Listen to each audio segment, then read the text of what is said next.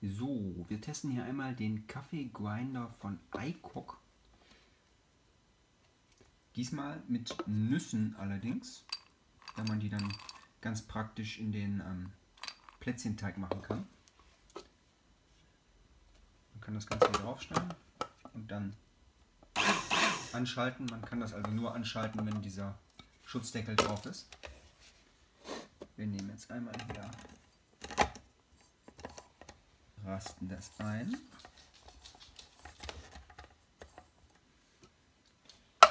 Den Deckel drauf.